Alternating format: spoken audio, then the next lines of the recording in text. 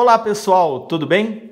Estamos aqui novamente com o professor Marcos Venelli para fazermos uma tulipa branca com alguns detalhes bem bacana em vermelho. E o professor já vai começar através das folhas e depois subindo para a tulipa. Manda ver, professor.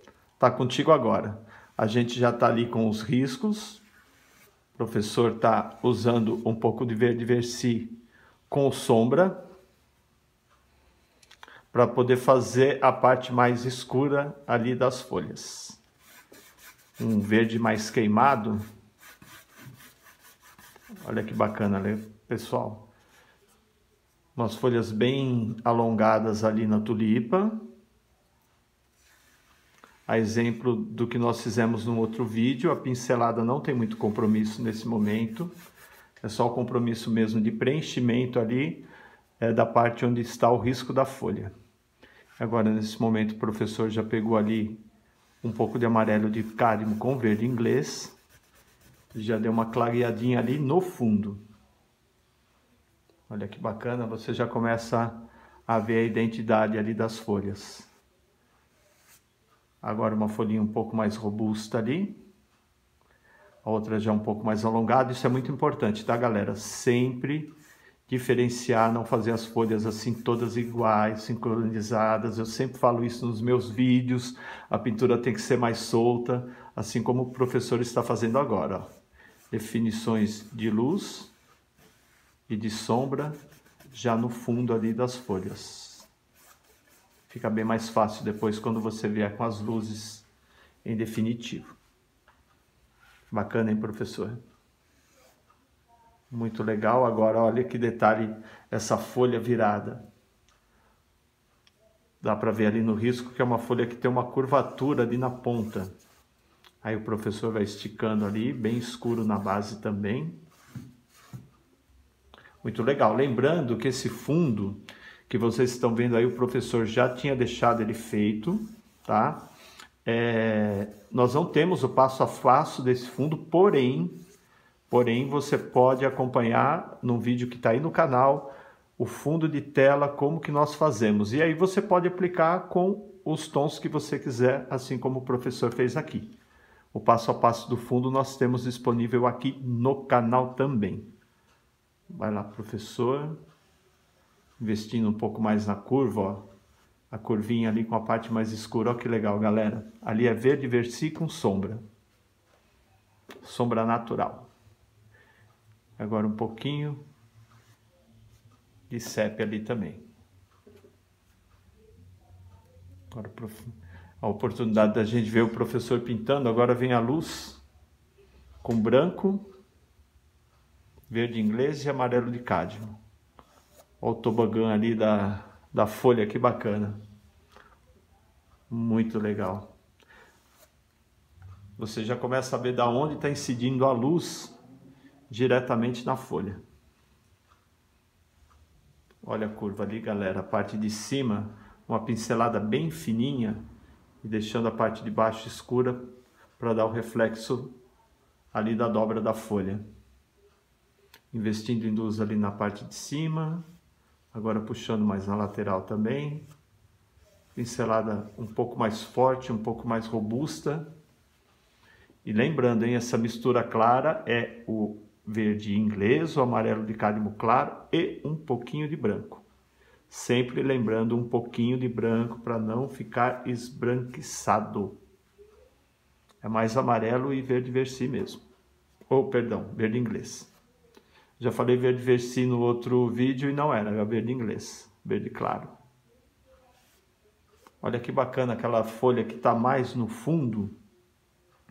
O professor não investe tanto ali em luminosidade, ó. Porque é uma flor, uma folha que está um pouco mais distante. Então o professor deixa um pouquinho mais perdida lá no fundo. A luz mais forte aqui na, nas folhas à frente, que é onde vai ter a maior atenção aí na hora de você acompanhar a obra. Olha que legal, galera. Olha o contraste dessas folhas com o fundo claro ali na parte inferior da tela. Professor deu uma limpadinha no pincel.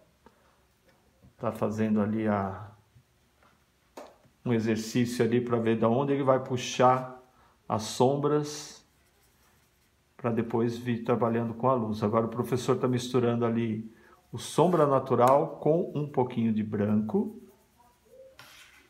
e ele vai começar a fazer a parte da sombra da tulipa. É uma tulipa branca, porém nós começamos ali pela parte de sombra. Sombra natural, galera, é uma, é uma tinta que é tipo um, um crigipane assim, mas mais puxado por verde, enfim. Quando você mistura no branco, ele dá esse tom assim, ó. É, é um branco sujo, digamos assim, quando você mistura com branco. Olha que bacana. Definição ali das partes de sombra. Muito legal, né, galera? E vocês podem ver que o desenho da tulipa é de uma tulipa aberta, tá? Geralmente a gente vê muitos desenhos de tulipa por aí, aquela tulipinha fechada, que nada. Tulipa aberta fica bem mais bacana, dá um, um uma, uma qualidade, assim, dá um, um, um diferencial na tela muito legal. Olha lá, galera, pincelada ali, num formato até parecido com o que nós vimos no outro vídeo das rosas, as pétalas ali. Para quê? Para ela ficar um pouco mais harmônica ali na parte de cima, entendeu? Mais sombra. Então vocês podem ver, a sombra está na base e está também nas pétalas lá do fundo, do lado de dentro. Olha que legal, galera. Você já começa a ver aí a formação da tulipa. Tudo bem que ela já estava arriscada, mas só nesse exercício de luz e de sombra porque tem luz ali na parte que não está preenchida ainda, você começa a ver o formato ali da tulipa. Muito show, né? E detalhe, hein? É, sem compromisso com as pinceladas, só formato espalhando bem a tinta na tela. Agora o professor limpou o pincel, tá pegando branco e ele tá investindo ali no miolinho da tulipa. É um branco que ele está sujo, ele ainda está com um pouquinho de, de sombra, mas bem pouco. Olha que tom legal, galera. O professor vai espalhando, espalhando, estressando a tinta ali na tela. E já dando formato ali da luz. Muito legal, né? E revisitou ali a parte de sombra, clareou um pouco mais. É como se você fosse desenhando a tulipa novamente, com luz e sombra. Lembrando que essas são as primeiras luzes, tá? São luzes é, orientadoras, digamos assim. Depois o professor vai vir de fato com as luzes mais fortes ali e carregar um pouquinho mais na sombra. Muito legal, né, galera? Ele aproveita o risco e trabalha em cima do risco. E ó, estressando bastante a tinta, deixando a tinta bem ralinha. E como vocês podem ver, apesar de ser um profissional, sempre com muita calma, muita calma. Sem preocupação com o término da tela, enfim, mas sim com a qualidade dela. Eu sempre falei, sempre falo e sempre vou falar isso. Às vezes a gente peca pela nossa ansiedade, aquela coisa de querer ver a pétala feita, de querer ver a, a, o resultado final, a gente acaba atropelando um pouco o passo a passo da obra e aí, infelizmente, a obra não fica tão legal. Olha aí, galera, pelo vídeo aqui eu estou olhando, já está ficando muito legal, hein? Que eu vejo ao vivo e olho também aqui pela câmera, tá? Olha a luz ali na ponta das pétalas. Então vocês podem ver que apesar das pinceladas estarem todas ali, né, os contrastes de, de sombra e de luz, você ainda percebe o risco da, da tulipa ali na parte de baixo. Por quê? Porque a tinta está bem ralinha. O professor, a preocupação dele ali mesmo é só deixar é, definido as partes de luz e de sombra. Aí você vai falar, ah, mas o professor começou escuro, depois passou branco por cima. Sim, galera, porque é uma tulipa branca.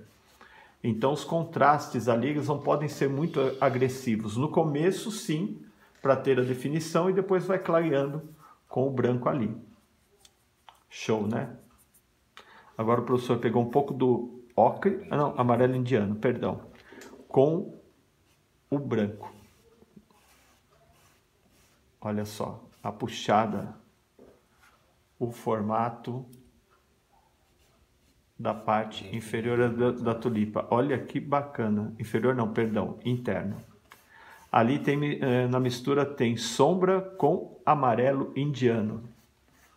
Olha que legal, galera. A gente começou com sombra misturado com um pouco ali de verde versi, né, cara, bem no início ali. Agora, depois o professor aplicou branco e agora ele está vindo novamente nas sombras ali com o amarelo indiano e o sombra natural. Show de bola, isso que espetáculo. Nós estamos nas primeiras luzes ainda, hein? Teve a definição, né, orientadora ali. Olha a puxada do pincel para dar o formato ali na, na pétala da tulipa, digamos assim. Olha que bacana, galera bem suave, bem leve e investindo bastante em formato. Se você e outra detalhe, o professor está pintando sem referência. É que ele já pintou muitos hectares de tulipa, então não tem não tem tanta necessidade de referência. Olha isso, galera, que show, que show, muito legal privilégio estar aqui, hein? observando tudo isso e podendo compartilhar com vocês também. Lembrando que aqui o nosso intuito é levar vídeos com qualidade até vocês, para que vocês possam ver o passo a passo de um pintor profissional em relação a esse tipo de composição, enfim. Já falei na outra aula, uh, ah, mas por que não tem uma, uma tela completa, porque o intuito não é esse. O intuito é mostrar o passo a passo para que você tenha uma referência para quando você for pintar, você possa se inspirar e também tirar algumas dúvidas em relação ao formato, em relação à composição de luz, de sombra, enfim. Bom, o professor já deixou bem definido ali é, o que é luz e o que é sombra. E agora ele vai começar com as primeiras luzes e é o branco puro, galera. Olha só, bem na pontinha, que é onde a luz está batendo, a luz está vindo aqui assim, ó, tá? Vou botar meu dedinho aqui, ó. Muito legal. Agora são pinceladas um pouco mais vigorosas, tá? Olha só. Como você observa as dobras ali da, da, da pétala só nessa composição de luz que o professor jogou. Olha que bacana, galera. Bem leve, a mão muito, muito leve. E sempre observando, revisitando as pinceladas no local certo. Que tulipa bacana. Bem diferente das tulipas fechadinhas que a gente costuma ver por aí, né? Muito show, muito legal. E ó, o professor deixa a mão leve e o pincel carregado de tinta. Então, quando ele puxa, o branco não desaparece. Olha que bacana. Show de bola, professor. Pinceladas de cima para baixo, de baixo para cima, todas acompanhando o formato inicial feito ali pelo professor entre luz e sombra.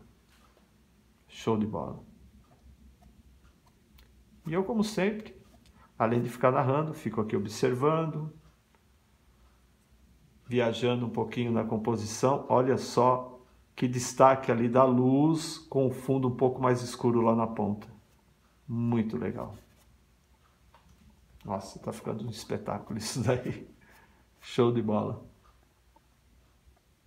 Então nós temos ali uma, duas, três, quatro, cinco, seis pétalas no total. Duas na parte de trás ali, uma pequenininha e três aqui na frente. A composição da tulipa. Eu fiz questão de colocar meu dedinho para poder mostrar para vocês aí na frente. Que legal. Outra curva ali.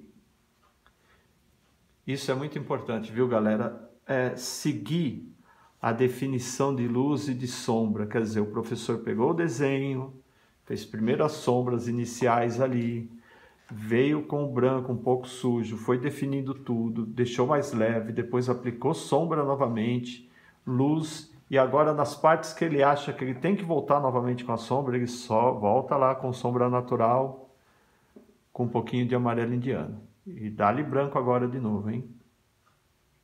Ó, puxando com mais força. Como é uma pintura molhado no molhado, quer dizer, o professor vai começar e terminar a tela numa única aula, ele tem que usar alguns recursos, como carregar bastante o pincel de tinta, tá? E deixar um pouco de tinta sobrando na tela, porque senão ele não consegue cobrir de fato é, a parte clara que tem que ser coberta, porque o branco acaba é, fundindo noutra tinta e não fica legal. Então esse é um recurso que o professor usa também. Então se você fosse pintar essa tela em duas etapas, você poderia é, usar pinceladas com pouco menos de tinta se já estivesse seco no fundo. Olha que bacana, galera. Muito show, né? O formato é tudo. Agora o professor aplicou um pouco mais de amarelo indiano ali embaixo. O amarelo indiano é uma cor super transparente, né? Um amarelo bem transparente. E ele ajuda a dar uma, uma luminosidade ali de leve quando ele encontra com o branco também. Agora já um pouquinho mais. Olha aí. Show, hein, professor? Muito bonito, muito bacana. Agora o professor está pegando novamente o sombra. Ele vai fazer ali o caule da tulipa. Você pode ver que o professor não veio retinho, ele deu movimento ali no caule, ó. Que legal. Um pouquinho de luz bem delicado. Ele sobrepôs ali na parte que estava mais iluminada da folha. Você vê, né, pessoal? Não precisa muito esforço para fazer uma bela composição, né? Só talento e técnica. Só isso está ótimo. O restante, né, professor, está tranquilo. Muito bacana. E agora, lá vem vermelho com um pouquinho de laranja. Galera, essa é uma parte crítica. Por quê? Olha só. Se você puxar muito no vermelho aí, aí você deixa tudo muito poluído. Então tem que ser só algumas pinceladas na ponta para dentro, acompanhando o formato da tulipa. Olha que bacana, galera. Olha que realce. Que coisa linda. Show de bola. Show de bola. E pode ver que elas não são é, sincronizadas. Tem ali algumas um pouco mais claras, outras um pouco mais escuras, onde está pegando a parte ali de sombra. Mas o formato é o mesmo, acompanhando a pincelada que o professor havia feito no início. Olha que legal, galera. Show, né? Por essa vocês não esperavam, né? Falar, ah, legal, tá fazendo uma tulipa branca, mas olha os detalhes em vermelho. Vermelho e alaranjado, ou laranja, perdão. Show de bola. Muito legal. Olha que bacana, pessoal. Bem leve, bem sutil agora da base para cima. Ali ele está investindo um pouco mais no vermelho com o laranja. Voltou a revisitar o vermelho, concluiu ali com o caule. Show de bola. Show de bola. Nossa, eu estou olhando aqui pela câmera, tá um espetáculo, hein? Só que ao vivo é muito mais bonito também. Olha que interessante, ele jogou na sombra ali um pouco do vermelho para dar um destaque naquela pétala que está virada no canto. Muito legal. Muito show de bola. O senhor está misturando um pouquinho mais de laranja na parte clara. E ó, vocês podem ver que o pincel que o professor está utilizando está com as cerdas bem juntinhas. E é um pincel que ele já utiliza há algum tempo.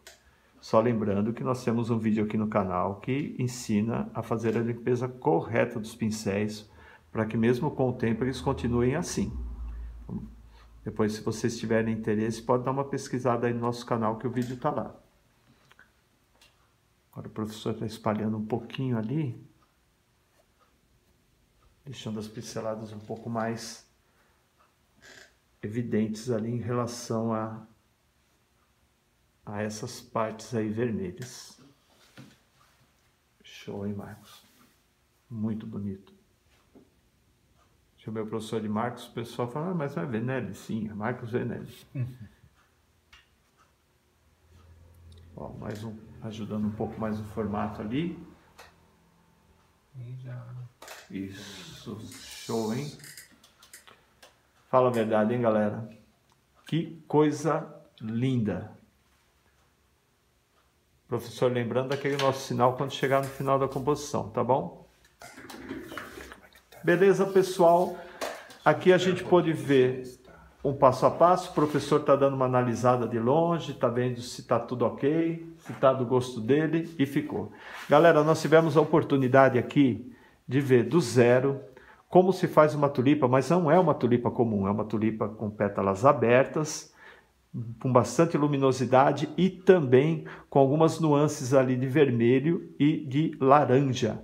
Espero que a gente possa ter contribuído mais um pouco com informações para vocês. Continuem curtindo o nosso canal, nos acompanhando aqui, que sempre vai ter conteúdo com muito carinho. Muito obrigado, galera, e até o próximo vídeo. Valeu!